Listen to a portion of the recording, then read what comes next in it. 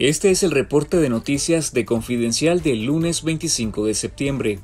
El Ministerio de Gobernación canceló este lunes la personería jurídica de la Escuela de Negocios Instituto Centroamericano de Administración de Empresas INCAE y ordenó confiscar sus bienes bajo el argumento de que incumplió con las leyes que lo regulan.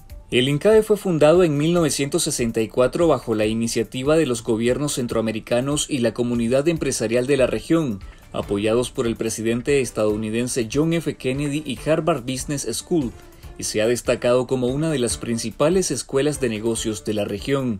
En 2019, el INCAE acogió una fallida mesa de negociación con la que se buscaba una salida a la crisis que vive el país desde abril del 2018, en la que participó el Vaticano y la Secretaría General de la OEA.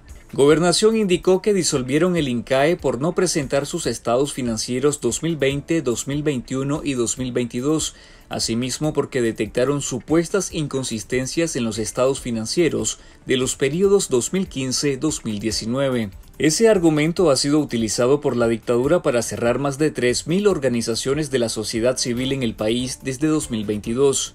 El régimen además ordenó a la Procuraduría General de la República traspasar los bienes del INCAE al Estado de Nicaragua, que representa hasta ahora una incalculable inversión millonaria en infraestructura educativa, aulas, auditorios, tecnología, biblioteca, residencias y una propiedad de varias manzanas de terreno.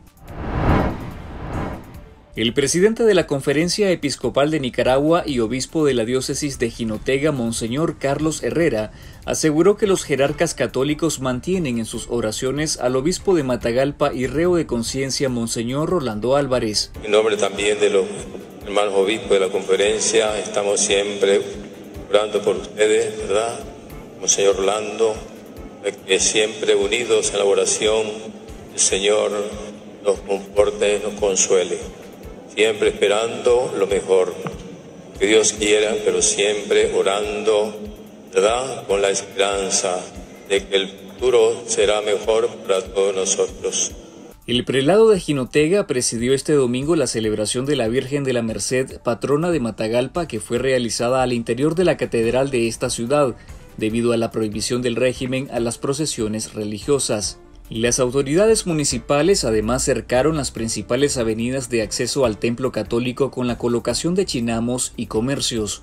Monseñor Álvarez, obispo de esta sede, fue condenado a 26 años de prisión imputado por una serie de delitos fabricados, después de negarse al exilio en febrero pasado.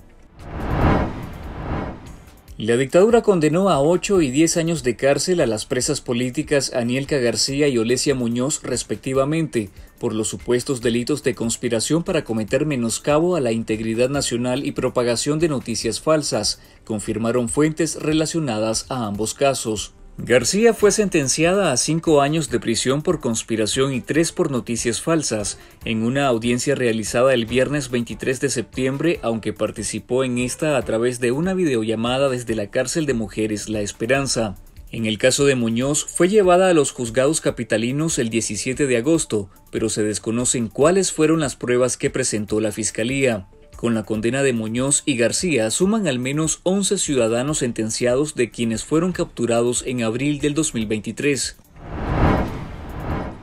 El joven nicaragüense Kevin Josué Martínez Alemán, quien había sido detenido hace tres días tras regresar a Nicaragua, fue liberado y se encuentra en Costa Rica, informó este sábado el medio Ticavisión con el que colabora.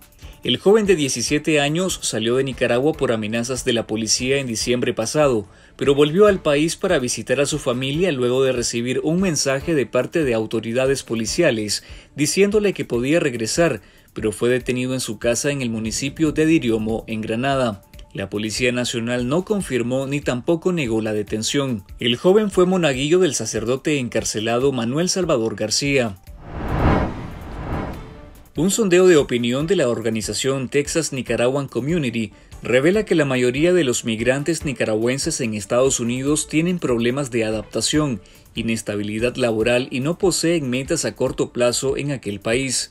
El sondeo realizado por esta organización indica que el 41% de los consultados dijeron estar cumpliendo sus metas, 20% dijeron estar laboralmente estables, el 19% han pensado en regresar a Nicaragua, el 13% están decepcionados de Estados Unidos y el 7% dicen que no se han adaptado al cambio.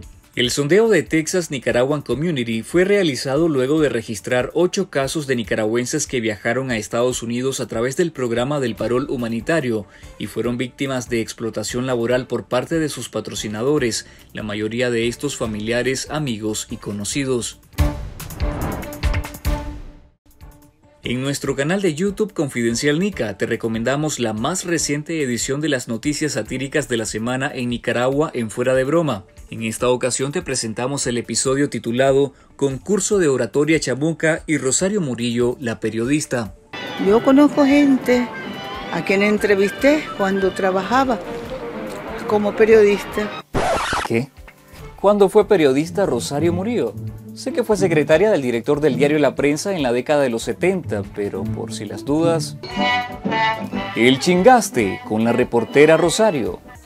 Gracias por ver este video y si aún no lo has hecho, suscríbete a nuestro canal en YouTube, activar las notificaciones para recibir las noticias del momento sobre Nicaragua.